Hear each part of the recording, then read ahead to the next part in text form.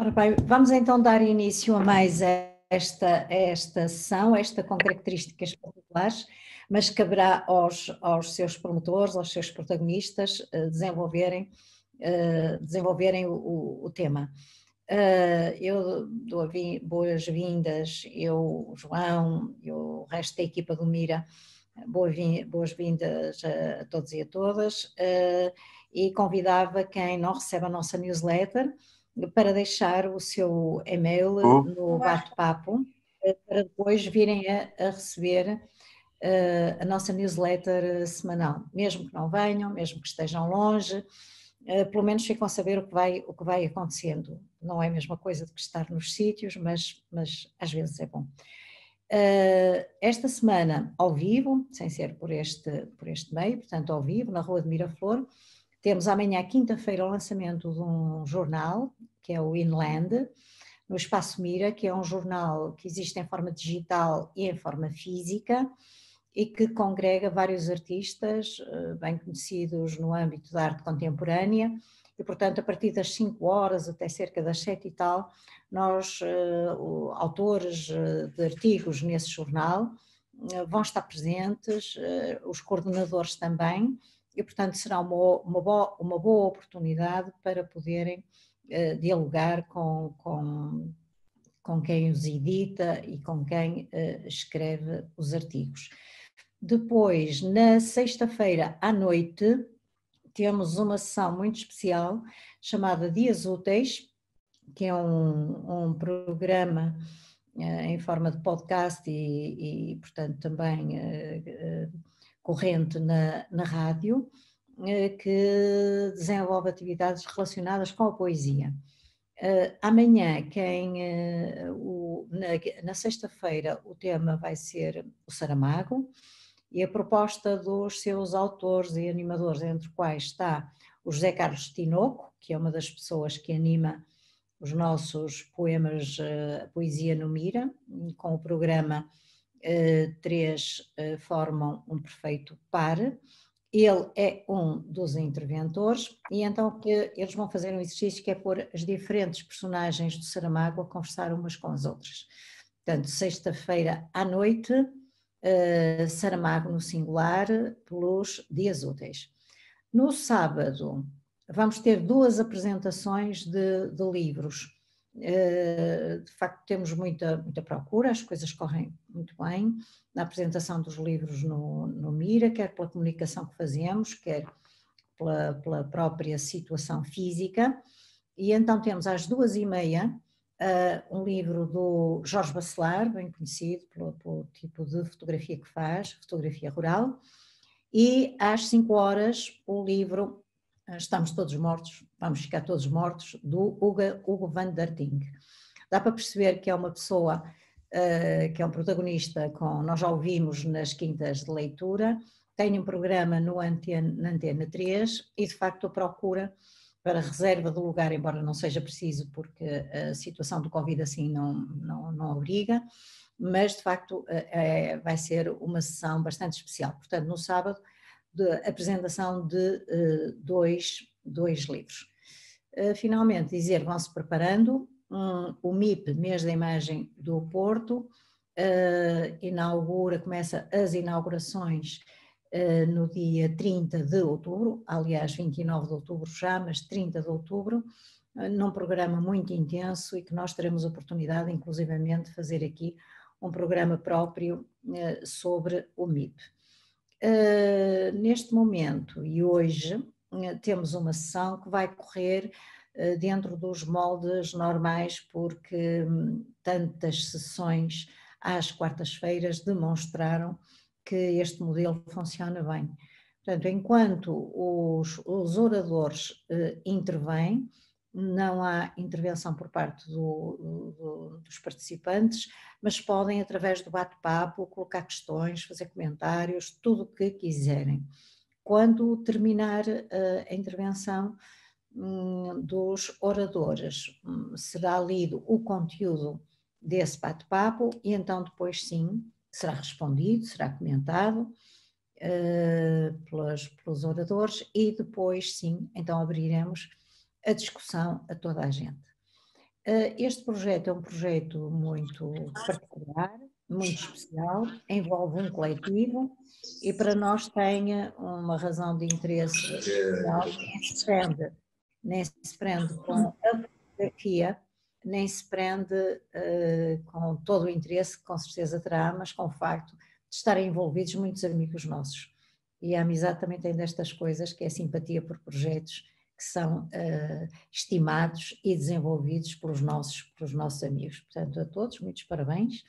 E, portanto, eu passaria já a palavra ao Renato, ao Paulo e a quem considerarem dever uh, dar uh, a palavra. Terminamos a sessão por volta das 11 horas, mas temos muito tempo até lá para conversar, discutir e trocar impressões. Portanto, bem-vindos e obrigada por estarem cá. Renato? Uh, boa noite a todos. Eu iria começar por dar a palavra ao Zé Paulo, que é, portanto, o presidente da, da Riba Codana. Ele pode fazer uma contextualização, por um lado, do que é a associação, para vocês passarem a conhecer a associação, já que o livro que vamos apresentar é uma publicação da, da Riba Codana, portanto, ele pode fazer uma apresentação rápida da, da associação, dizer o que é que é a associação, e, por outro lado, também dizer o que é que é esta coleção, este é o primeiro número, e depois a seguir eu falarei em concreto uh, da, do projeto fotográfico, uh, que foi, portanto, uh, um, um, dos motores da publicação deste livro. Zé Paulo, podes, podes começar? Olá, boa noite a todos. Cumprimentar na pessoa da, da Manuela Matos Ribeira, quem, a quem agradecemos. É um enorme gosto estarmos neste espaço fórum, um espaço tão, tão, tão importante e tão interessante de partilha.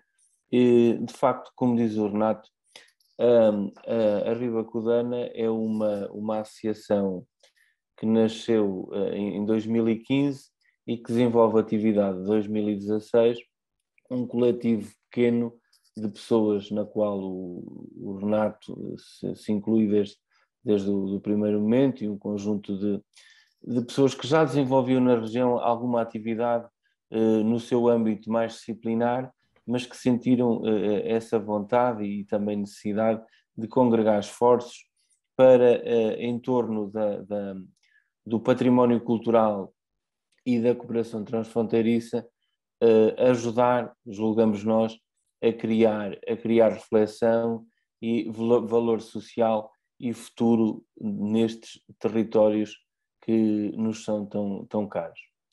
Nesse sentido, e, e com o apoio de, de, do município de Figueira Castelo Rodrigo e da CCDR Centro, a quem agradecemos uh, desde já uh, na, na, em representação está o, sei que estará a, a doutora Lídia Martins, com esses apoios iniciamos o ano passado numa das, da, da, das aldeias que também nos é muito cara, que é o Bizarril, um, um projeto que designámos de cadernos do património e que pretende estender-se uh, numa primeira fase a todas as freguesias do município do, de Figueira Castelo Rodrigo e que foi é muito interessante porque eh, congrega uh, aqui visões diversas, mas é um cruzamento entre os textos, os textos neste caso de historiadores arqueólogos e esta, este coletivo fotográfico eh, eh, congregado em torno do, do, nosso associado e do nosso consórcio, também da direção, o, o Renato Roque, e que penso que resultou mu muito bem. Pretendemos continuar esta coleção e, nesse sentido, desenvolvemos também, neste mês de setembro, numa outra, numa outra aldeia, Escarigo, que é uma aldeia, uma aldeia de fronteira com, com, com a comarca de Cidade de Rodrigo, o, o que será o próximo, julgamos nós, o próximo caderno, o número 2, dedicado ao património de Escarigo e Almofala. A Riba Codana, pois é, é, é destes coletivos, destas uh, associações que infelizmente são cada vez mais raras no território, mas não só no, no território, também uh, um pouco uh, a nível nacional, as associações, as ONGs de, de, de património, depois de uma fase mais pujante, têm tido uma atividade um pouco mais, mais, mais reduzida principalmente nestes, nestes territórios. Um, este, devo, devo dizer que este processo foi um processo construtivo, participativo, é, é sempre muito interessante este diálogo entre, entre historiadores, arqueólogos. Confesso que às vezes, se calhar, nós, como estamos habituados, os historiadores, principalmente os arqueólogos, a que a fotografia seja uma técnica de registro da nossa atividade, é sempre muito desafio, um desafio grande estes trabalhos em que de facto resulta este objeto acho que é um, objeto artístico. Nesse sentido também era um bocadinho lançar aqui a discussão, o mote um pouco para, para a reflexão entre as pessoas ligadas à fotografia, de como é, é que podemos seguir este percurso. Este ano, neste, neste, neste, ensaio que, que fizemos, também que depois o Renato falará, mas também do segundo encontro transfronteiriço, utilizámos já metodologias mais participativas, mas eh, a Ribacudana tem sede no município de Figueira Castelo Rodrigo, é um coletivo que está aberto à participação e ao acolhimento de ideias de todos os que eh, assim entenderem apresentar propostas eh, para desenvolver trabalho na região, mas não poderia deixar de agradecer de uma forma muito especial e, e, e penhorada ao trabalho, uh, ao fantástico trabalho desenvolvido de uma forma também abnegada pelo Adelino Marques, o António Gonçalves, o António Teixeira, o Augusto Lemos, a Conceição Magalhães, o Filipe Carneiro, o Jorge Pedra, o Jorge Valhote, o, Renato Roque, o Rui Campos, a Sofia Aroso e aos historiadores Carlos Caetano, Filomena Barata e Tiago Ramos, e ao Jorge Velhote na, na dupla qualidade de, de fotógrafo e, e poeta. Uh, Manuela Monteiro, Matos Monteiro, bem-aja, bem-ajam pelo acolhimento, Renato Roque uh, na qualidade aqui de, de, de, de congregador deste, destas vontades deste coletivo fotógrafos, bem-aja e, e muito, muito obrigado.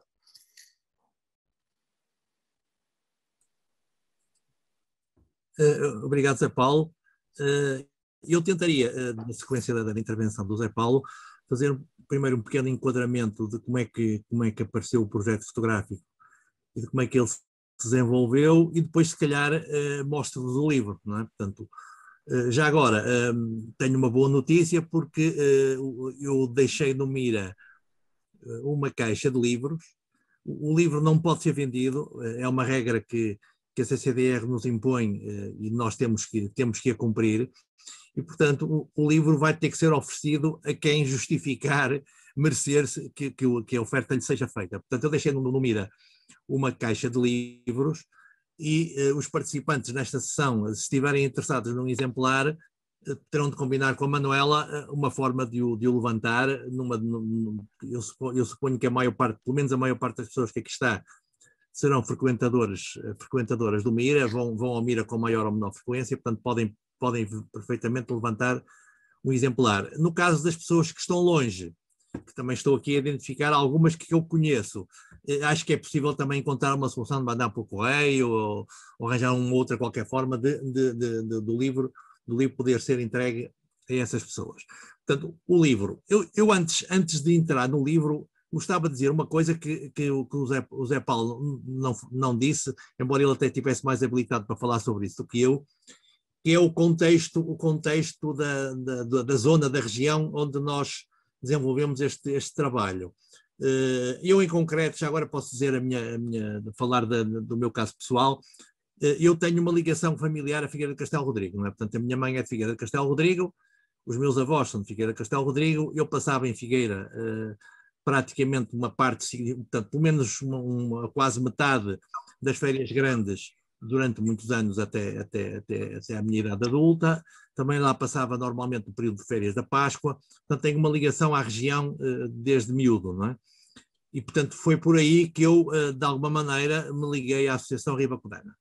Mas eu nunca tinha ouvido falar uh, num castelo, que é o Castelo Monforte, que é um castelo que existe no Bizarril, precisamente, que é um castelo de que a, a maioria das pessoas da, da própria região, uh, suponho, não sabem da sua existência, não sabem onde é que fica. A primeira vez que me falaram no castelo foi há uns anos atrás, eu fui à procura dele e não o encontrei, porque, no fundo, o que existe neste momento é uma ruína, portanto, o castelo foi completamente, portanto, deitado abaixo, cresce pelo Londinês, se eu disser algo mais neiras é Paulo, tu que sabes mais disto que eu, corrijo-me, o Londinês, portanto, nas guerras entre Leão e Portugal, no século XIII, eh, portanto, um dos focos da, resistência leonesa teria sido o castelo de Monforte, e esse castelo foi completamente arrasado, e, portanto, se calhar grande parte das pedras que, que resultaram desse, desse, desse derrubo do castelo foram depois usadas noutras coisas, como é costume.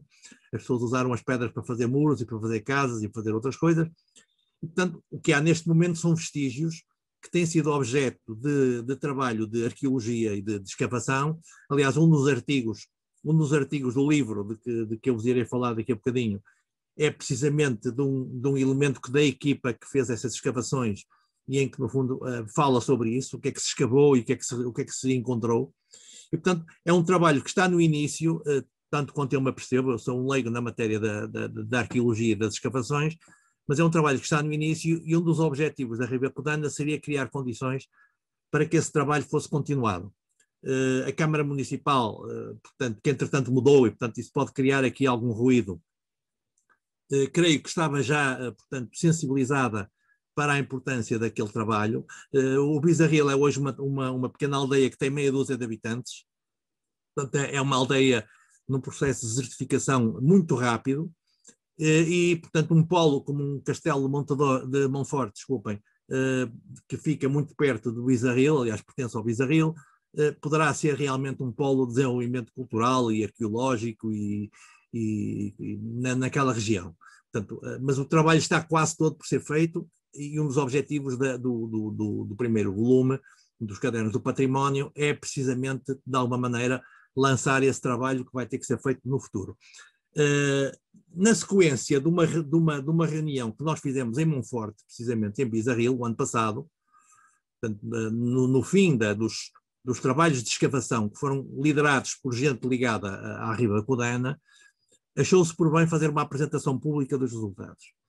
E, e foi aí que tudo nasceu. Portanto, na altura, uh, pôs-se a hipótese de, de, convidar um grupo de fotógrafos, uh, e assim aconteceu. Eu convidei um grupo de pessoas que, que, no fundo já temos uma relação de trabalho e de amizade forjada, eh, sobretudo ao longo destes últimos anos, no chamado Photobook Club, no qual algumas pessoas terão ouvido falar. Portanto, quase todas as pessoas que estiveram eh, no Bizarril a fotografar são presenças, portanto, assíduas do Photobook Club do Porto. Achou-se por bem experimentar uma, um modelo que era convidar, portanto, um grupo de fotógrafos para a região e desafiá-los eh, a fotografar, eh, na altura, a fotografar a lenda. Porquê a lenda? Porque o, o castelo de Monforte e a capela, há uma capela, junto ao, portanto, o edifício mais próximo do, do, do, do castelo de Monforte, é uma capela, a Capela Nossa Senhora de Monforte, que está num sítio à, à partida uh, para, que nos parece muito estranho, porque está longe de tudo, apesar de estar num sítio muito bonito, com uma, uma bela vista sobre Coa, portanto está numa, numa plataforma, numa colinas, digamos assim, com uma bela vista sobre Coa, mas está, parece estar longe de tudo e ali foi construída uma capela. Capela é essa que terá sido uh, local de, de romarias uh, com alguma dimensão, pelo menos até o século XIX. Uh, eh, uma das coisas que nós fizemos na altura foi uma visita à capela, acompanhada pelo Carlos Quetano, que por acaso não está aqui presente, porque ele disse-me que tinha muita pena de não estar presente, mas ele tem dificuldades na aldeia onde vive em Trancoso em fazer ligações da internet portanto ele não, não consegue estar, estar presente numa, numa iniciativa deste tipo, mas foi ele, portanto, ligado à história da arte, que nos fez a visita guiada uh, portanto, à capela e ao local da capela e nos escreveu o que seriam essas festas, até ao século XIX, festas com centenas de pessoas. As pessoas deslocavam-se, portanto, a, pé ou, ou de burro para participar nessas festividades e, portanto, seriam festas com, alguma, com algum impacto na, na região. Uh, um dos artigos, uh, precisamente da, do livro, aqueles que, que, depois acederem ao livro vão ver, é do Carlos Caetano, e ele fala precisamente disso, e fala da capela e da arquitetura da capela, tendo ele ficado muito contente, porque diz ele que, graças, aliás, acontece um pouco mesmo também em Escarigo, graças à falta de dinheiro, a capela foi preservada e não foi, como aconteceu em muito lado, retocada ou reconstruída numa, numa, numa, numa estética barroca ou neobarroca, o que aconteceu também em muitas capelas de, do interior do país e que aí não aconteceu. Portanto, nós temos ali uma construção que, segundo ele diz, do ponto de vista arquitetónico, é muito, é muito interessante por, por, por ter conservado eh, todos esses sinais da, da, da, arquitetura, da arquitetura talvez visigótica, não sei se eu tiver a dizer algo mais neira, diz Zé Paulo, eh, mas talvez, talvez a, origem, a origem inicial venha desses tempos. Portanto, há uma série de lendas uh, em torno da capela. Portanto, aliás, isso acontece em muitos sítios de Portugal, e se calhar não só em Portugal, porque as populações punham-se a questão porque é que há aqui uma capela, não é? Portanto, há aqui uma capela num sítio onde à partida parece que não devia haver nada e há ali uma capela. Então há uma série de lendas que contam a história da capela, portanto, e essas lendas, eh, há várias versões da lenda, as lendas estão disponíveis, se vocês estiverem interessados, se forem ao site da própria Câmara Municipal de Castelo Rodrigo, essas lendas foram recolhidas, não sei com que, com que grau de rigor, mas foram recolhidas e estão disponíveis no site. E essas lendas contam uma série de versões que, aliás, coincidem, o que também acho que é normal, porque as lendas, as lendas dos vários sítios muitas vezes são parecidas umas com as outras, porque as pessoas utilizam ou recuperam as histórias e, portanto, fazem histórias parecidas para, para explicar os seus próprios monumentos. Portanto, há uma história, por exemplo, que é a história, que é a história de, uma, de uma praga de gafanhotos que teria assolado a região. Essa praga de gafanhotos eh, destruía todas as, todos os campos e todos, portanto, todos os cultivos das pessoas do Bizarril, que já eram pobres e, portanto, ainda mais pobres ficavam. E, portanto, pedindo à Nossa Senhora, conseguiram que, que portanto, a praga de gafanhotos tivesse sido, portanto, no fundo, portanto, vencida e os gafanhotos teriam sido transformados em grandes pedras que seriam teriam sido lançadas naquele sítio onde precisamente neste momento há a capela. Há outras versões que têm a ver com, com, a, com aquela capela que não quer ser construída num sítio, mas quer ir para outro. Portanto, acho que há muitas, versões, há muitas lendas desse tipo, em que o povo quer construir uma capela num sítio e durante a noite uh, aquilo que, elas, que o povo constrói é, portanto, cai de, de si, portanto, as pedras caem dando indicação de que a, a, a, imagem da Nossa Senhora não quer ficar ali, mas quer ir para outro sítio. Portanto, há umas lendas que explicam, uh, portanto, a, a, a, origem daquela capela. E o desafio que foi feito aos fotógrafos na altura, uh, que se deslocaram uh, uns dias antes do, do encontro para fotografar a, a, região, foi tentar, de alguma maneira, interpretar a, lenda, ou as lendas da, da, da, do, do, do, Castelo de Montedor e da Nossa Senhora de Montfort. E, e, assim fizemos, né? na altura, portanto, fomos um grupo de, já não sei se éramos 10, se éramos 11, fotógrafos, uh, acomodámos-nos em Figueira, arranjamos maneira de, das pessoas ficarem todas por lá, ou em minha casa ou em casa de amigos ali na, na, em aldeias próximas, e fotografamos. E no dia seguinte, quando foi o encontro uh, propriamente dito, uh, em que se apresentaram os resultados das escavações, em que uh, se conversou sobre as questões da raia, das questões da cultura na raia, etc., o que nós fizemos na altura foi apresentar algumas imagens que tínhamos feito nos dias anteriores. E foi, creio eu, eh, não quero, não quero, não quero assumir, portanto, o protagonismo da fotografia, porque não foi só a fotografia, mas foi o momento em que o, o livro nasceu. Porque, eh, portanto, as pessoas estavam presentes acharam que eh, aquelas imagens podiam ser, no fundo, o núcleo agregador de, de um livro a, a, publicar no ano seguinte, que nasceu naquele momento e que, de, a partir daí, foi, se foi enriquecendo de contributos de várias pessoas. Portanto, foi definido mais ou menos o que é que, qual seria o conteúdo do livro, quem é que iria escrever para o livro, e foi feita uma, uma um, isso foi feito por mim, sobretudo ainda que com a, a, colaboração de toda a gente que eu fui mantendo, uh, portanto, a conversa com, com um grupo de, de, gente que esteve comigo lá a fotografar, mas foi feito por mim depois uma seleção de imagens, o que não é fácil, porque vocês podem imaginar que uh, ter imagens de 11 pessoas muito diferentes umas das outras, em que não houve propriamente à partida nenhuma nenhuma imposição, nem nenhuma, nenhumas regras do ponto de vista de como é que as pessoas iam fotografar. E depois, no fim, criar uma série eh, em que cada pessoa tinha duas imagens e criar um, um grupo, portanto, uma, uma, um conjunto de imagens que fizesse algum sentido, que fosse coerente, que fosse equilibrado, não foi uma tarefa muito fácil, mas acho que o resultado uh, foi, foi bom e foi positivo. Uh, portanto, o que é que eu diria antes de começar a mostrar o livro, para terminar? Eu acho que, é o, o, que eu, para mim é o aspecto mais interessante nesta publicação, que é o, o, uh, o facto de, até aos termos, estamos perante, aliás, o, Zé Paulo já falou nisso, estamos perante um livro que à partida seria sobretudo um livro de, de arqueologia, de, de, de história, de, etnografia, portanto, dedicado, portanto, neste caso, a uma, a uma zona concreta do Ribacoa, nós chamamos Ribacoa aquela zona junto ao Rio Coa, portanto, as, as margens do Coa, que é, é uma é um dos focos de interesse da, da Ribacodana, não é só, mas é um, é um dos focos de interesse da Ribacodana, e Bizarril fica mesmo na margem do rio Coa, fica entre o Coa e o Águeda, no, fundo. Nós estamos ali entre três rios, que é o Coa, o Águeda e o Douro. É? Estamos ali num, dentro de um triângulo de três rios muito importantes, que são esses três rios. Estava eu a dizer que nós estávamos, à partida, eh, perante uma publicação ou um livro eh, em que, eh, portanto, a, o vetor de, de, ensaio, portanto, teórico eh, ou teórico ou prático, se quisermos, eh, dedicado à arqueologia, ao património cultural, é, é, é, é determinante, mas em que a fotografia, em vez de assumir o papel de ilustração, aliás, nós corremos um bocadinho esse risco. Houve uma altura, por exemplo, em que alguns autores queriam usar as nossas fotografias para ilustrar os, os artigos deles e nós recusamos. Portanto, as imagens, as nossas imagens funcionam como um ensaio autónomo, independente dentro do livro. E, portanto, nós temos, no fundo, um ensaio de fotografia, que é um ensaio, eh, portanto, não de registro documental, mas é um ensaio eh, subjetivo, autoral, eh, construído a partir das lendas que explicam a, a Capela de Nossa Senhora de Monfort.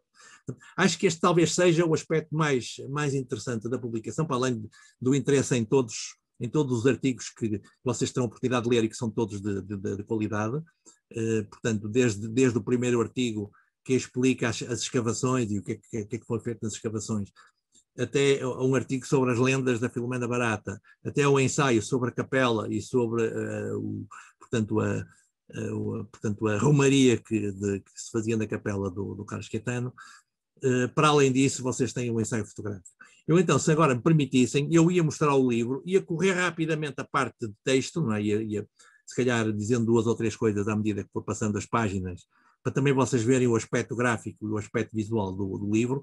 Ah, esqueci-me de dizer uma coisa, o, o design do livro é, é de alguém que, ah, que alguns de vocês conhecerão bem, que é o Rui Mendonça, uh, meu amigo há muitos anos, e que aceitou o desafio de fazer este trabalho pro bono, né? aliás, todos nós fizemos isto pro bono, uh, portanto, sem, só pelo prazer de fazer, e que gostou tanto do projeto que este ano quis ir lá. E então esteve em Esqueri connosco a fotografar o Rui Mendonça este ano, que aliás ele já foi professor de, de fotografia nas Belas Artes, portanto é uma pessoa também com uma ligação forte à fotografia ao longo dos anos, e pediu-me para participar este ano na equipa e esteve lá connosco a fotografar.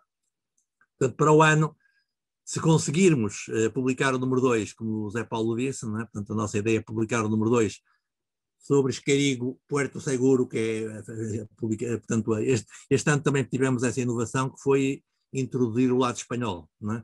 Portanto, nós fizemos, uh, portanto, uh, atividades do lado português e do lado espanhol. Portanto, tivemos mesmo em cima da raia, Escarigo é uma, é uma, uma terra de raia, fica para aí a um quilómetro da, da Ribeira de Torões, que é a fronteira, a Ribeira de Torões é um afluente do Águeda e é a fronteira ali, e do outro lado há uma pequena, há uma, uma pequena povoação uh, chamada Puerto Seguro, onde nós também tivemos e onde também desenvolvemos atividades. Portanto, para o ano, em princípio, o caderno do património número 2 terá como, como cenário uh, Iscarigo Almofala, não é? que são as duas aldeias que fazem parte da junta de freguesia de Iscarigo Almofala, e do lado espanhol, uh, Puerto Seguro. Uh, portanto, eu vou-vos mostrar então o livro, vou fazer a partilha, vamos ver se, se isto corre bem. Ok. Portanto,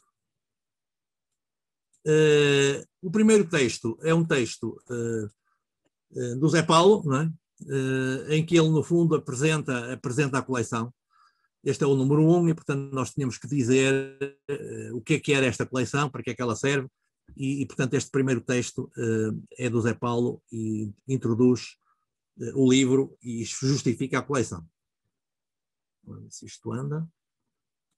Okay. Estamos ainda no... Temos, portanto, um texto do, do, Tiago Ramos, que é arqueólogo, que fala precisamente das escavações, como eu vos disse há bocadinho.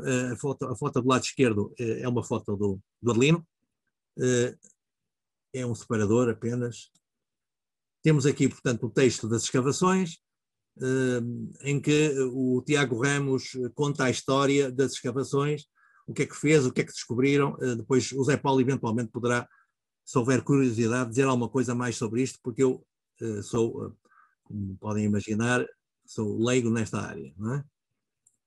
A seguir, temos um texto, portanto, da, do Carlos Quetano, como eu vos disse há bocadinho, em que ele, no fundo, conta a história, aquilo que se sabe do santuário de Nossa Senhora de Monforte, do ponto de vista da arquitetura, da, da, da, da arquitetura religiosa, do, do, do portanto, do, da, de como, é que é, como é que seriam as romarias, eh, portanto, na, na, na, neste, neste santuário. Eh, até eh, ele conta a história, e suponho que isto é uma história comum a, a, a muitos santuários espalhados pelo país, de que a importância destes santuários se, se, se diminuiu fortemente no século XX com a, com a descoberta de Fátima. É? Portanto, de alguma forma, Fátima tornou-se uma espécie de monopólio nacional e substituiu-se a grande parte destes, destes pequenos santuários que estavam espalhados pelo país. Portanto, continuando. É um, é um artigo relativamente longo, mas muito interessante, nomeadamente sobre algumas, algumas coisas que ele notou na, na, na construção, na forma como, como, o edifício está construído e, e, as conclusões que se podem tirar do ponto de vista artístico e do ponto de vista histórico, da história da arte, uh, a partir daí. Uh, a seguir temos um, um, outro artigo da Filomena, que também é arqueóloga, como vocês veem, há um enorme peso de arqueologia na, na, neste, neste número, o que não é de estranhar, porque ele é construído a partir de, de, uma, de um trabalho que é um trabalho de arqueologia, que é, eh, são as escavações, precisamente no, no, no Castelo Monfort. Eh, é um trabalho sobre as lendas e sobre a importância das lendas do ponto de vista do património, não é? Eh, como é que as lendas se podem interpretar. Ele, portanto, a, a Filomena fala nas, nas várias versões das lendas de que eu vos falei há bocadinho. Também é um artigo relativamente longo, eh, mas eh, também muito interessante. Os artigos são, apesar de serem artigos de, de âmbito científico, são artigos de leitura, portanto, são escritos para o grande público, é? portanto, qualquer pessoa pode ler o artigo, não precisa de conhecimentos muito específicos na área da, da arqueologia, nem da história da, história da, da, religiosa.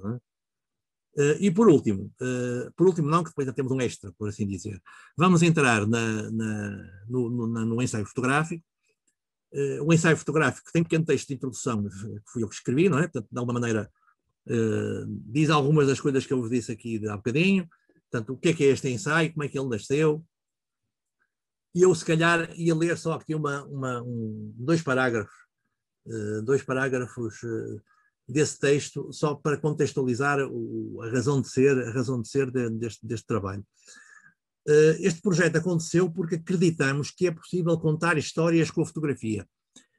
Eh, eu chamava a atenção, isto não, não, não está no texto, é uma nota minha, que o que está escrito não é contar uma história, mas sim contar histórias. Isto é importante. Fizemos porque pensamos que a fotografia pode realmente dar um contributo na defesa do património material e imaterial riquíssimos, não só no plano do registro documental, mas também no plano da ficção autoral. Cruzamos as margens do Coa, do Águeda e do Douro, mergulhamos neste território mágico para fotografar a lenda do Bizarril.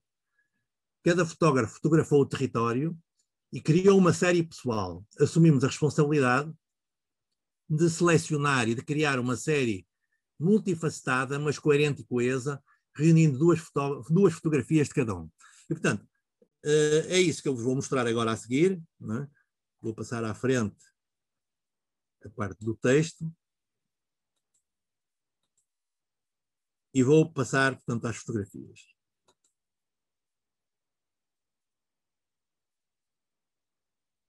As fotografias eh, estão, estão misturadas no sentido de que não, cada autor pode ter uma fotografia no princípio e outra no fim ou no meio, ou pode ter as duas seguidas, depende. Portanto, no fundo, as fotografias foram, foram usadas para contar uma história eh, que é, de alguma forma, a história que eu no próprio texto também depois tento recontar.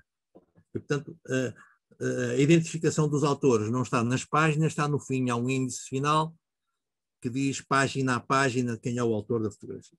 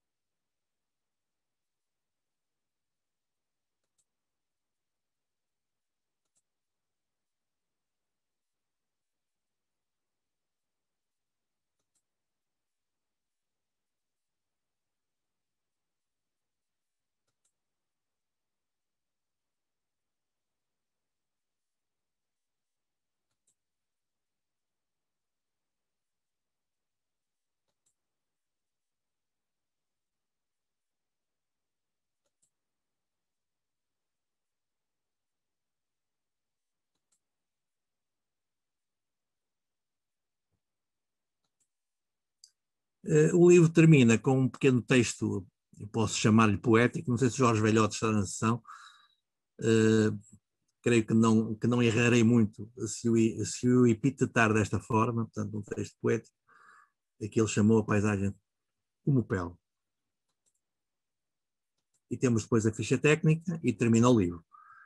Portanto, uh, é esta a apresentação que eu vos queria fazer. Temos aqui na sessão muitos dos intervenientes no livro, portanto, acho que eles também poderão dizer alguma coisa sobre a experiência que tiveram e sobre, uh, portanto, o sentido, o sentido de, de, fazermos coisas como estas em termos de fotografia. E, portanto, eu terminaria, vou, vou parar a, o share, é?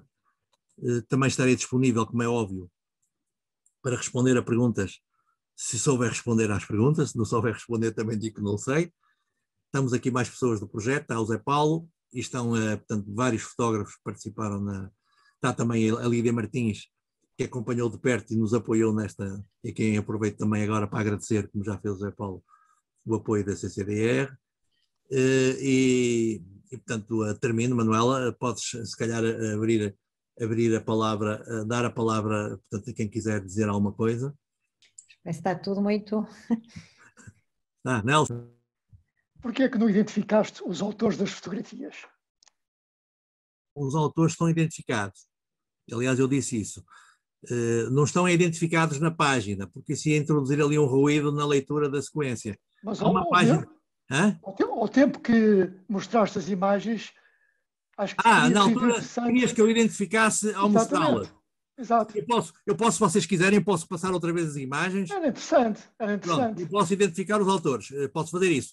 Uh, pensei que estavas a perguntar porque é que no livro a imagem não está identificada. Uh, sim, sim, uma, opção, uma opção de, de, editorial, não é? Portanto, uh, não, mas não, não era um essa, certo ruído porque imagem não era essa imagem. a minha pergunta. Não era essa a minha ah, pergunta. Ah, ok, ok. Então eu posso fazer, se, se vocês acharem bem. Acho bem. Posso, eu posso voltar, eu posso voltar ao, portanto, ao fazer o share, é? vou buscar, vou buscar outra vez o livro. Ok, e vamos começar no início. Vamos ver se eu não me engano, é? porque eu também posso enganar-me. Portanto, uh, se vocês virem, uh, aqui a lista dos autores, está aqui, e ao lado dos autores estão as páginas das fotos de cada um. Portanto, as imagens quem, quem, quiser saber exatamente quem é o autor de cada imagem, essa informação está disponível no livro. Poderia não estar, aliás, há coletivos que assumem isso, não é? Portanto, uh, põe a imagem como coletivo e uh, não sabe qual é a imagem de cada um. Mas neste caso, acho que isso era ir longe demais, porque o coletivo não se assumiu enquanto tal em termos de, de, de, de programa estético ou, ou, de intervenção fotográfica ou o que é que seja. Portanto, eh, a unidade, a unidade do projeto acho que não era suficiente para que uh, isto se assumisse como um projeto coletivo, não é? E por isso, realmente, os autores estão identificados. Agora não estão identificados imagem a imagem, realmente, como eu disse. Ora, vamos então começar. A primeira imagem, eh, que é a imagem que abre, eu aliás até posso, se calhar a maneira mais fácil é eu ler o texto, que é o texto de guia das imagens. Eu escrevi um texto em que de alguma maneira estabeleça uma sequência de leitura. Pode haver outras, não é? E esta, e esta imagem é do Rui Campos, e eu escrevi Rui Campos situa-nos. Estamos no território mágico do Coa. Da capela de Nossa Senhora de Monforte e das ruínas do castelo, vê-se o rio a correr lá no fundo, sinuoso entre fragas. Bizarril fica perto, um pouco mais para cima, para o lado da raia.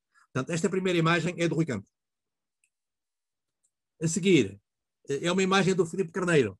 Eh, e aquilo que eu escrevi é: com Filipe Carneiro chegamos finalmente à paisagem rude que nos engola através do para-brisas, que metaforiza a objetiva fotográfica. Portanto, esta imagem é do Filipe. A terceira imagem é da Sofia, e já agora também posso ler o que escrevi. A Sofia Aroso aponta-nos o caminho, subimos à procura, subimos lentamente até ao cimo. Estamos no Bizarril, terra já quase sem gente, de casas engolidas pela paisagem. Uh, a fotografia a seguir é também da, da, da Sofia, então, neste caso, as duas imagens. Uma imagem uh, que é uma imagem de, de, de, de, caminho para o Bizarril e outra do próprio Bizarril estão, estão seguidas. E a seguir vem outra imagem do Rui Campos. A luz e a sombra de Rui Campos parecem desenhar um mapa para a nossa viagem. E depois desta imagem, temos duas imagens, que é um díptico, portanto, está a funcionar como uma imagem, mas realmente são duas imagens, do, do Augusto Lemos. Portanto, temos a imagem da capela, esta é a capela Nossa Senhora de Monforte, e aqui do lado esquerdo, eh, lá no fundo, corre o rio Coa. Portanto, o Coa está muito perto da capela de Monforte. E o Bizarril fica do lado direito, ao cimo, lá no, no cimo do monte, fica a aldeia do Bizarril. E chegamos finalmente à capela Nossa Senhora de Monforte com Augusto Lemos. E depois vamos ter imagens também da capela do António Martins Teixeira e do Filipe Carneiro, que é esta. Esta acho que é do António. É, é ao contrário, Renato. É, a outra, então é ao contrário, esta que é do Filipe, é que esta é tua? Pronto, pronto, ok. Está aqui, está aqui o autor que não deixa mentir. Esta também acho que é do Filipe. É? Também é do Filipe. Uma capela espreguiçada sobre o coa que corporiza as lendas que nos atreveríamos a, tentar fotografar. Lino Marques, a seguir, parece mostrar-nos já uma capela que nos foge e que se esconde por trás das rochas. Que é esta que está aqui. Esta foto é do Adelino. Uh, que se esconde por trás das lendas que lhe dão razão de ser. Lá no fundo, entre as arribas alcantiladas, continua a correr o rio Coa. Renato Roque é a próxima. Uh, parece poder materializar na sua imagem a praga dos gafanhotos que se abateu sobre o território, destruindo as colheitas da gente pobre que delas dependia para sobreviver. Portanto, esta é minha. Uh, portanto, esta imagem é dentro da aldeia. Portanto, isto é a chamada Torre do Relógio, na, na aldeia do Bizarril. Adelino Marques parece mostrar. Já, ah, não, já estou, já estou a repetir, desculpem lá. António Martins Teixeira leva-nos ainda mais acima ao Castelo Monforte. Portanto, a a seguir volta a ser do António Martins Teixeira. Esta é em cima do próprio castelo, portanto, uh, há uma inscrição que não é do tempo do castelo, esta é uma inscrição, uh, portanto, uh, portanto, não sei se quem é que escreveu isto, mas está aqui, dos serviços cadastrais do Exército, marca este lugar. Portanto, é o número 171, portanto, está marcado cadastralmente pelo Exército, deve ter sido feito, se calhar, quando eles faziam aqueles mapas que nós conhecemos cadastrais eh, de, do, do, Exército. E, portanto, está em cima de uma das rochas que, que são a base do Castelo de Monforte e a imagem é do António Martins Teixeira. Continuando. Depois há uma outra paisagem do Adelino Marques, que é esta que está aqui, é uma fotografia do Adelino. A paisagem do Adelino Marques sugere a visão dos campos de batalha dos tempos do reino, do reino de Leão. Portanto, esta imagem é uma imagem daquilo que se vê a partir do castelo. Portanto, a paisagem à volta do castelo é uma paisagem, eh, portanto, deste tipo. Eh, depois há duas imagens. Há uma imagem, volta a ser uma imagem minha, que é esta que está aqui. Portanto, estamos na, na zona do, da, dos penedos e das rochas que, eh, de acordo com a lenda, teriam sido os gafanhotos transformados em pedras pela, pela Virgem, não é? portanto, pela Nossa Senhora de Monforte. Uh, a seguir, temos duas imagens do Jorge Pedra,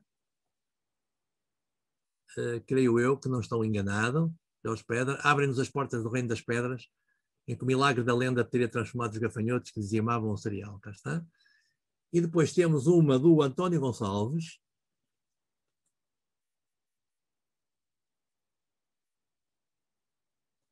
E outra do António Gonçalves. São as duas do António Gonçalves.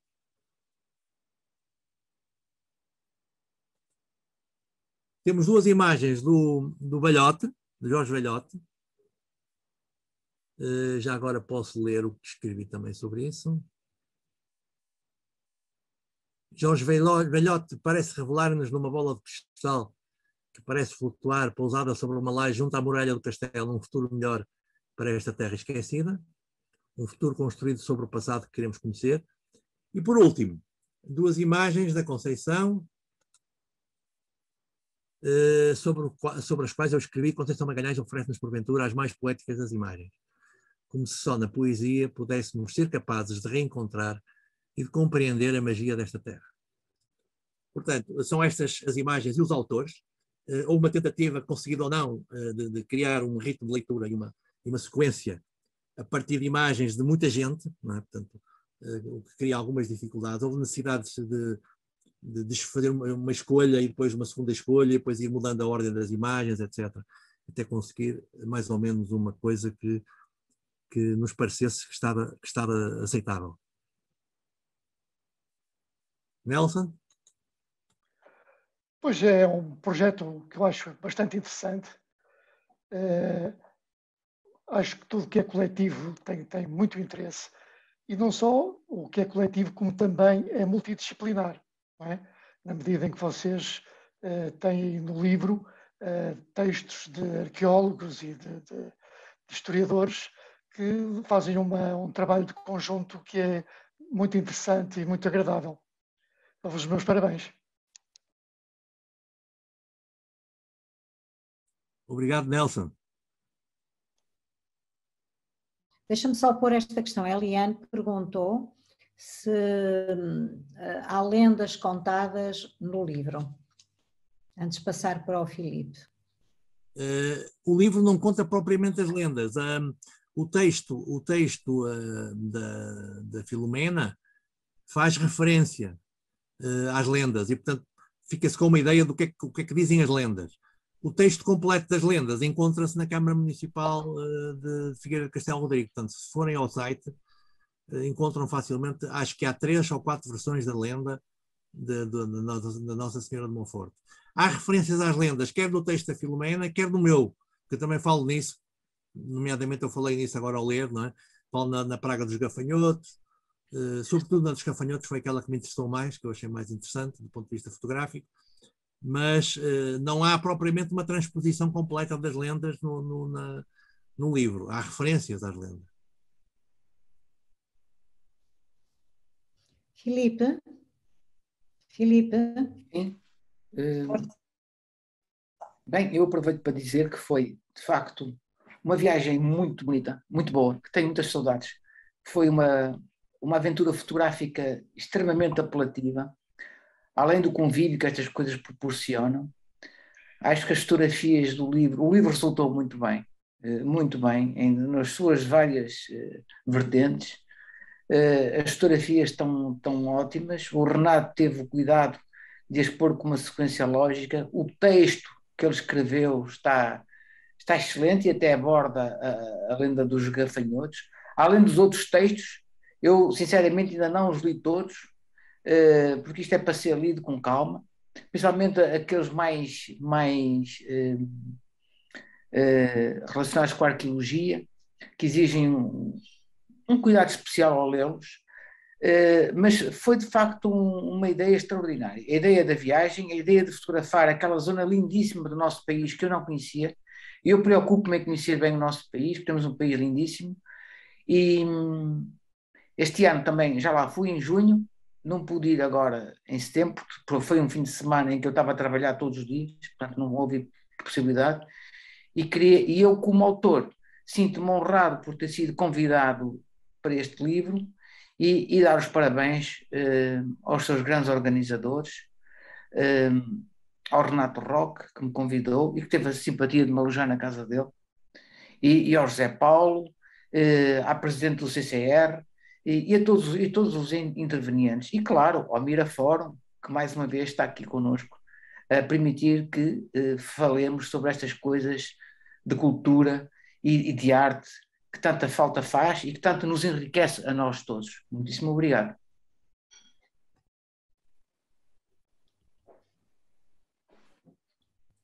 Obrigado, Filipe. Fizeste falta desta vez, pá. É preciso, é preciso dizer que. Na, e próxima. Eu não falei nisso, eu não falei nisso mas, é, mas é, é uma coisa interessante. nós voltamos, nós fizemos a sessão, a sessão de, de, de, de que vos falei, mas nós este ano voltamos lá, porque nós fizemos a apresentação do livro. O livro foi lançado no Bizarril, portanto, a, o, o, o, primeiro lançamento do livro foi feito no Bizarril. E, portanto, nós voltamos ao Bizarril. Uh, e, o, e o Filipe, dessa vez, esteve lá connosco.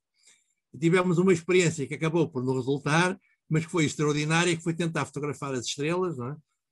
Uh, vocês sabem, aliás, o Filipe já fez uma sessão sobre, sobre essa sua atividade aqui no Mira. O, o Filipe tem uma atividade extraordinária de, de, de, astro, de astrofotografia, não é? Portanto, fotografia dos astros.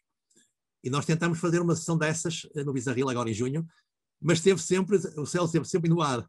Então nós não conseguimos fotografar nada, mas divertimos-nos bastante.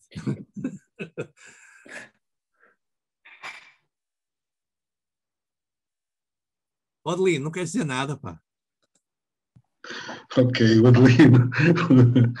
quero, quero. Nem, nem sei por onde é que é de começar. Uh, primeiro porque uh, uh, acho antes de mais, e antes do projeto fotográfico, eu acho que é de louvar uh,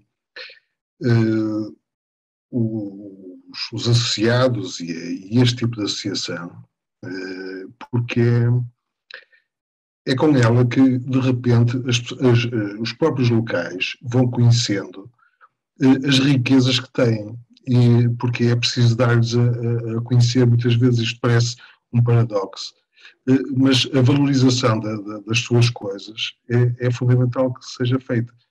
E é muito importante haver esta associação, e, e portanto, eu, eu conheci a associação através do, do Renato, não é, que, que, nos convidou para. Aliás, nós já tínhamos feito um outro projeto em Figueira de Castelo Rodrigo, e, e, portanto, uh, na pessoa do Zé Paulo, uh, eu dou os parabéns à associação por, por, este conjunto de iniciativas que são imensas e que são esta raia, não é, que, que, que nós aqui do, do, das cidades uh, mal conhecemos, apesar do o Filipe Carneiro dizia, eu que tento conhecer também o país, que de repente há um conjunto de, de, de coisas fantásticas que existem e que este tipo de iniciativas não só valorizam em termos locais, o que é fundamental, porque valorizar para os outros eh, por si só não, não, não é bastante, mas, mas é muito interessante de repente ver numa aldeia que, que tem meia dúzia de pessoas eh, estarem congregados, imensa gente de fora, mas também dos locais que já não vivem lá, mas que vêm estas iniciativas, a aproximação da, da, história da arte, da arqueologia aos próprios locais.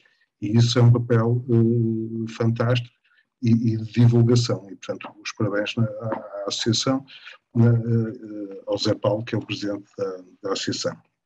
Depois também queria referir, porque está aqui a doutora Lídia Martins, uh, a importância que, este, que, estas ações têm ser reconhecido para o CDR Centro e uh, apoiarem, não de uma forma distante, mas também estando nas próprias iniciativas, como tem estado a doutora Lídia Martins. E isso, isso é, é, muito interessante, porque é, não é uma coisa que está lá longe a quem uh, se dá um, um, apoio, mas que se presencia e se vivencia.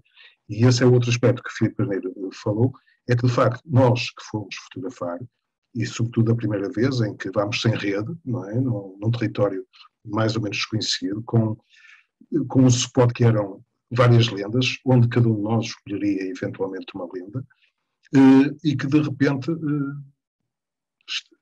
começamos a ver que um conjunto de pessoas que estão a trabalhar eh, no campo, nomeadamente foi muito interessante os arqueólogos que fizeram as últimas escavações no, Castelo de Monforte explicarem dizer, o que estiveram a fazer e depois em loco vermos e vivenciarmos aquilo. E, portanto, essa, essa vivenciação que depois se traduz uh, numa coisa que, que é depois o, os almoços comunitários, que são uma coisa fantástica. E, é, portanto, é uma vivência muito, muito, muito rica uh, desse ponto de vista. No que diz respeito à fotografia, um, e nomeadamente este caderno, o que, é, o que é muito interessante, eu não sei se para nós que estamos por dentro dele, eh, provavelmente temos uma, uma, visão um bocadinho diferente. Mas para quem está de fora, eu não sei se, se, se percebe disto.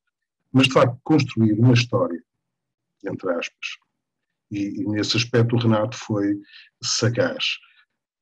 De facto, nós, cada um de nós tinha a sua história e, e, que nós tivemos a oportunidade de mostrar em loco aos locais e, na, na, e nas sessões uh, da associação que fez em, Bizarril, nós fizemos a mostra de, daquilo que era a nossa, a nossa história da, da lenda. Mas depois pegar nessas histórias de cada um e construir uma história com alguma, algum fio, e, o Renato fez isso e fez bem, e, e portanto uh, também está de parabéns. E, portanto, quer dizer mais que, que, é, que é um gosto fantástico andar uh, lá em cima com, com toda a gente, uh, não só a fotografar, mas também a vivenciar aquelas coisas. E este ano, nós já lá fomos este ano duas vezes, uma por causa do lançamento deste caderno, que foi feito em Bizarril, na, na, na própria localidade, e, e, já estivemos também noutra atividade da associação, dos encontros transfronteiriços, que agora foi em Escariga, me fala, e que eu estou curioso a fazer-se o caderno 2, eh, como, é que, como é que a coisa vai resultar. E obrigado ao Renato, obrigado ao José Paulo, obrigado à Lídia Martins por, por poderem proporcionar-nos a possibilidade de fazermos isto. José Paulo, José Paulo está a pedir, mas antes uh, aproveito, há pessoas que perguntam uh, que tipo de fotografia, uh, se todos usaram o mesmo tipo de dispositivo e de técnica, se é digital, se é analógica, e felicitando o facto da opção a preto e branco. Mas talvez esta pergunta assim muito rapidamente ficava resolvida que era saber que tipo de, de, de, técnica, dispositivo, de forma de fotografar e de revelar foram usadas, está bem? Eu, eu, oh, Renato, posso, posso introduzir eu, depois, sem prejuízo do, do que vieres a dizer a seguir. Eh, eh, uma das, das coisas ricas deste grupo é também essa diversidade. De facto, os aparatos, como diz o António Teixeira, quando nós eh, falámos sobre a fotografia Pinhol, dizer os aparatos. Eu achei sempre muita piada chamar aparatos. E, de facto, todo o tipo de aparatos são utilizados nesta, nesta, neste caderno. Eh, eu, eh, estão quase todos os tipos de aparatos digitais, analógico não, mas aparatos são vários e variados. E, e, e as, há pessoas que, que, usam mais do que um aparato, uh, uns mais sofisticados, outros menos sofisticados. Renato, desculpa. Não tenho, não tenho nada a acrescentar. Eh, realmente só nos faltam os aparatos analógicos, não é? Uh, eu acho que por uma razão de, de, de facilidade, porque as imagens tinham que ser necessariamente digitalizadas para o livro, etc. Eh, ninguém pensou nessa possibilidade, mas se calhar uh, poderá vir a acontecer no futuro. Uhum. É? Pronto, José Paulo, se quiser, faz favor. Este, este projeto uh, assenta na, numa preocupação inicial, que é a, a visão do coletivo mais ligada à, à, história, à arqueologia, ao, ao património. A nossa visão de, de de património comunitário e de arqueologia comunitária e nesta, nesta situação também muito das etnografias do, do da arqueologia e do património.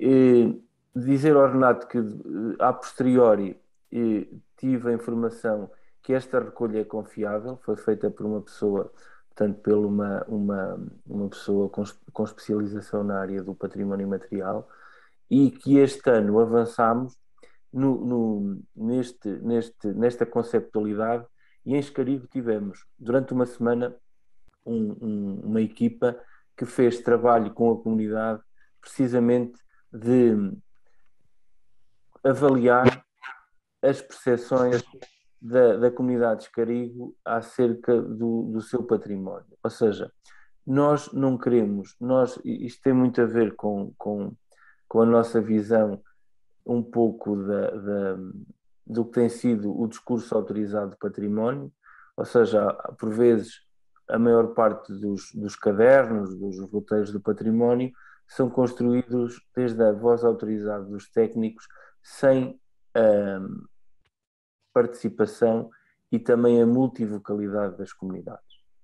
Penso que o próximo caderno do património a existir, e penso que vai existir, porque penso que merece existir, vai congregar esse trabalho feito com a comunidade e o trabalho, este trabalho conceptual, e, e eu dou nota sempre disto, é, é sempre muito agradável. Hum, este coletivo de fotógrafos eh, que eu não conhecia, conhecia o Renato Roque e conhecia o, um, outro colega, eh, é muito, é muito importante porque hum, são todos muito libertários. e então nós, os historiadores, tentamos às vezes impor uma conceptualidade que de facto resvala sempre com algum, alguma, algum vício de registro fotográfico e eles eh, eh, acabaram por resvalar para o fotografar a raia. E, e é, é, penso que vai ser muito bonito, porque como disse o Renato Renoc, nós, nós atravessámos essa, a Ribeira dos Tourões e fomos ao encontro da comunidade de Porto Seguro e La Boça, mas em Porto Seguro referir, que é de, de, de, de referir, uh, a, a este encontro teve a participação na organização de um coletivo que é o, o Conhecendo as Arribos, de Porto Seguro, e penso que sim, que vamos, uh, estamos de facto a, a, a, ultrapassar esta, esta linha eh, um, que no caso de Escarigo eh, eh, foi mesmo um, um lugar de, de, agregação.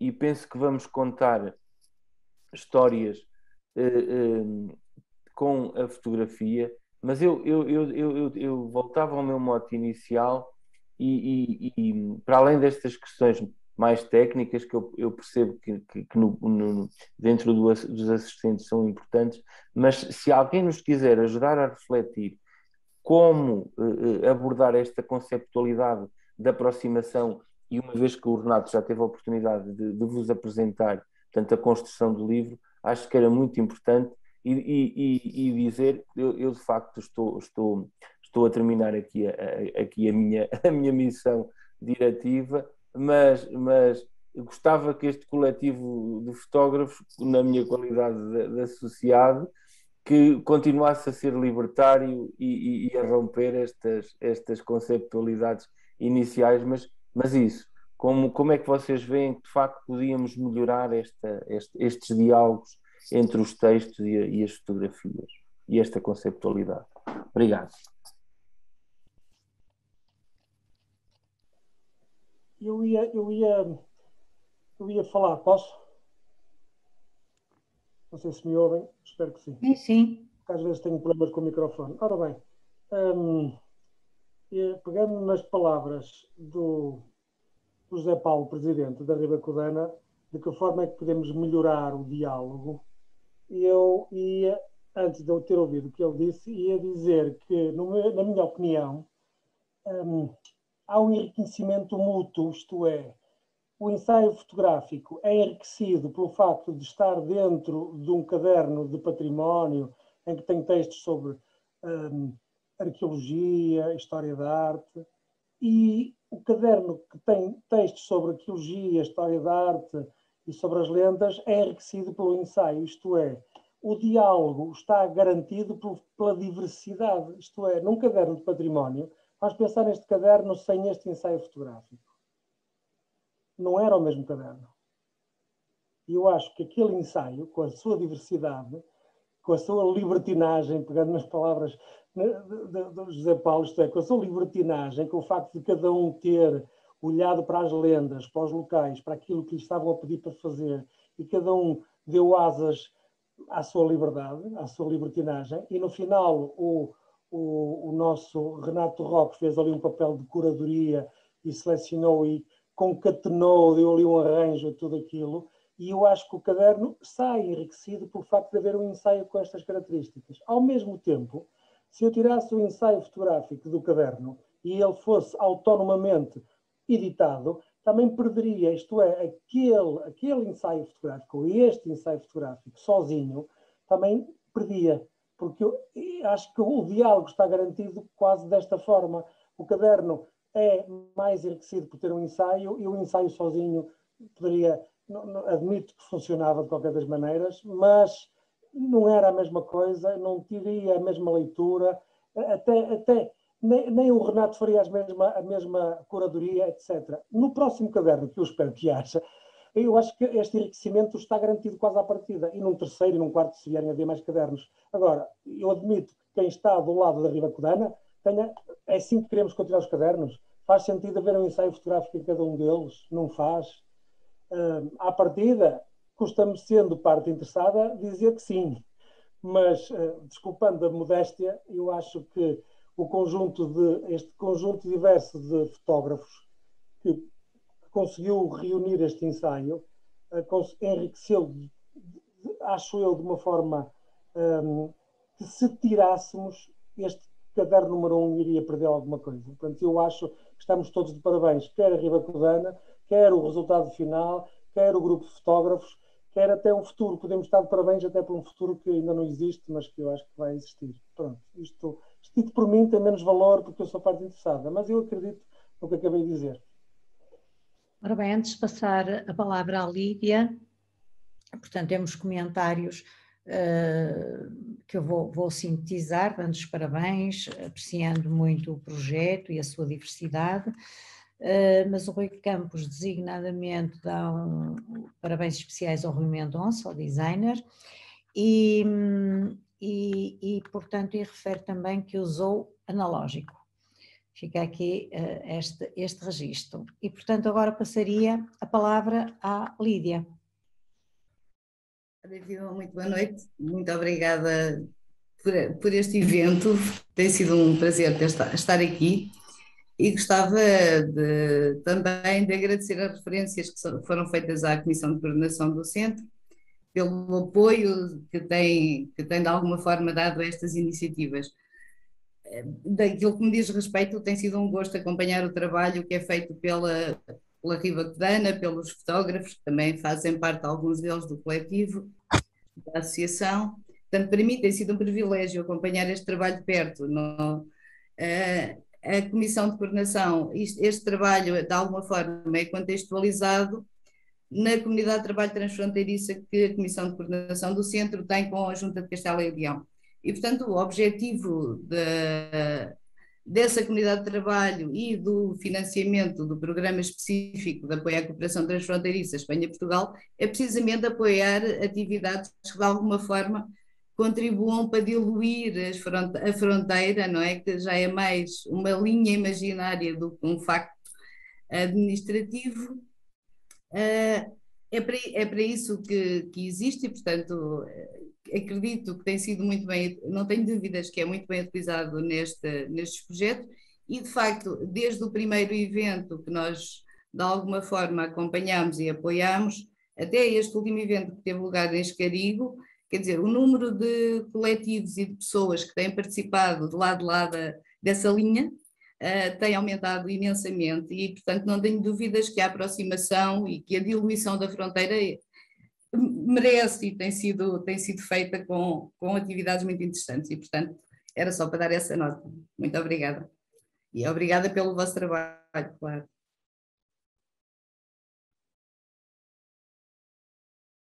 Eliana. Eliane, se faz favor. É, o, é, são várias coisas libertárias né, que carregam o projeto, assim, porque o Renato é essa figura libertária e ele propõe projetos coletivos e, libertários também, parabéns para ele. Agora, tem uma coisa assim, o fato de é, o fato das lendas é, quem, quem criou o que quem, alguém que cria a lenda né, alinhava uma história a comunidade costura essa história e transforma ela numa lenda, que é alguma forma assim, eu acho que também é uma forma libertária de é uma forma de, de, de traduzir de uma forma libertária talvez um acontecimento, um fato inexplicável ou que alguém deixou de explicar. Eu acho que a arqueologia é um, é um, é um, é um ato libertário, porque ele tira da obscuridade, né, da escuridão, o, o que está o, o que está submerso, o que está escondido, o que está aquela história que está intrínseca na, naquela, naquela, na, naqueles acontecimentos, naqueles sítios arqueológicos, na, na sociedade, qualquer coisa que, que ele que, que, que vá buscar essa, essa, essa, essa, essa liberdade, essa, esse conhecimento. Acho que é bem interessante essa, essa coisa de, é, de, de, de, um grupo trabalhar, né? e acho que é um trabalho enorme, de, essa costura que o Renato faz de, de tudo. Eu achei bem, bastante interessante o projeto e, e achei uma coisa interessante nas, nas, duas fotos do Jorge Velhotti, que tem é uma, uma bola, né, como se fosse uma bola de cristal. E aí, a, normalmente, a, a, bola de cristal é para desvendar o futuro, né? E ali ela, ela aparece como ela faz o caminho inverso, para desvendar o passado. É, é, uma, é uma, uma bola de cristal para desvendar o passado. Achei bem, bem interessante essa, essa, essa volta que, que, que é feita na, na ideia da bola de cristal.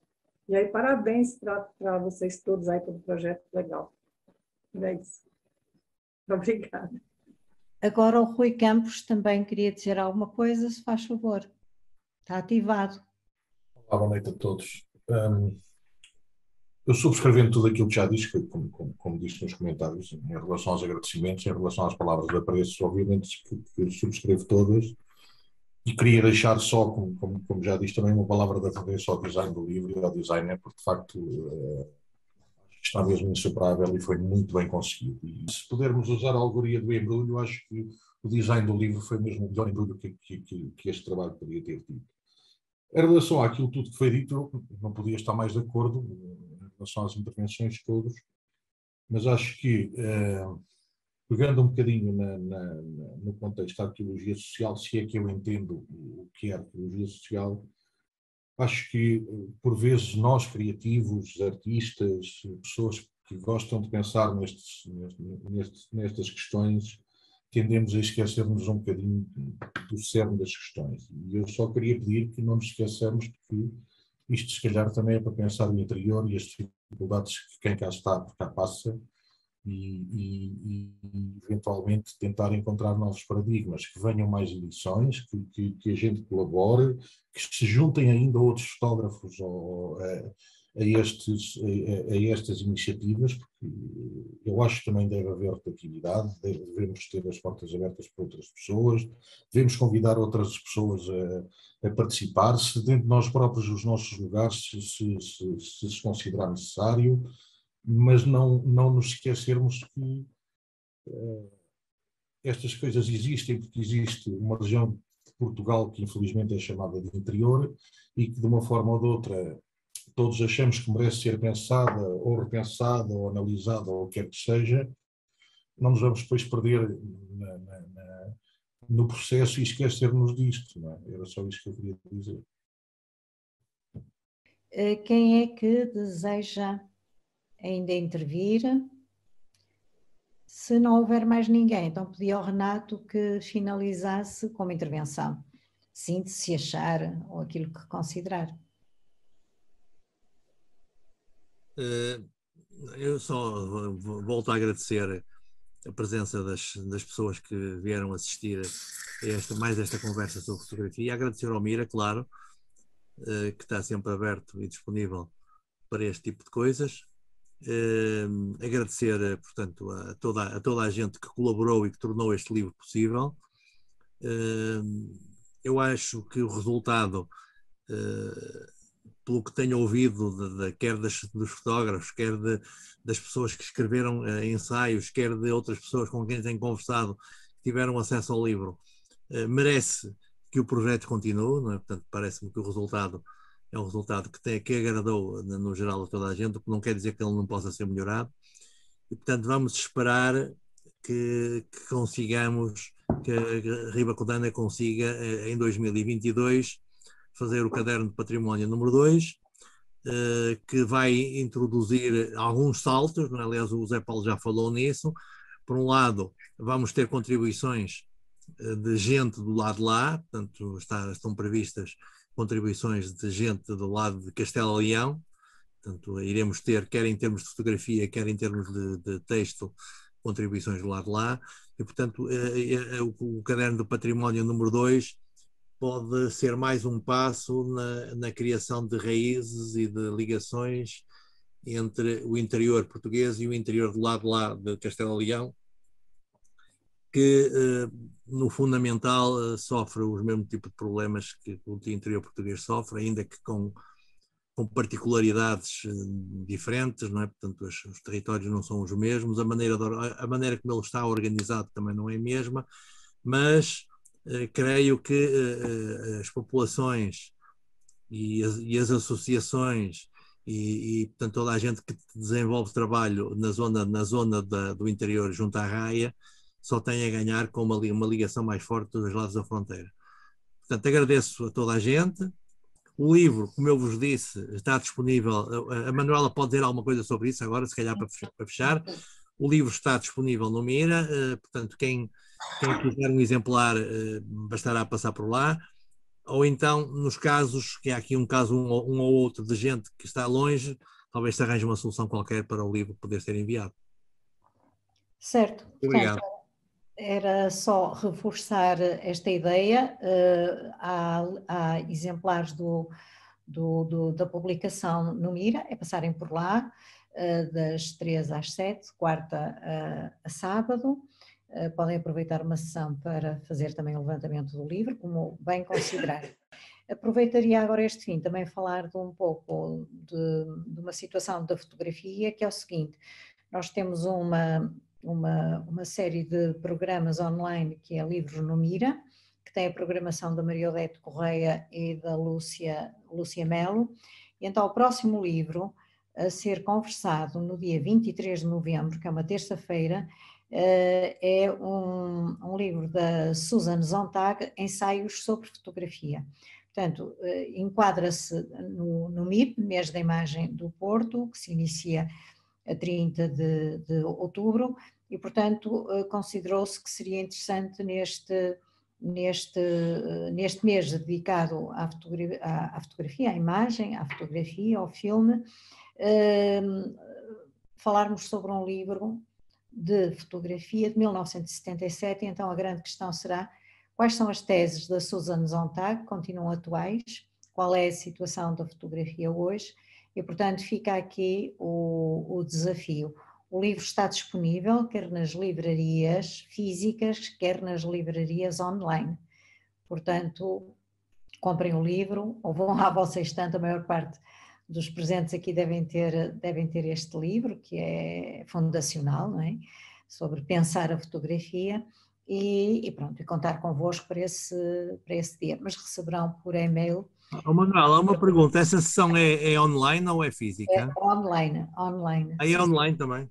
Nós, neste momento, a questão da sessão sobre uh, livros, a propósito de livros, é online porque temos pessoas de várias zonas do país presentes, enquanto que se for física, temos as pessoas do Porto, o Grande Porto, eh, com, com vontade de se deslocar à noite ao Mira, portanto fizemos essa opção, porque tem corrido muito bem e portanto achamos que devemos continuar assim. Pronto, olhem, uma boa noite, durmam bem e até, até à próxima, está bem? Tchau. Muito obrigada, muito boa noite. Tchau, boa noite.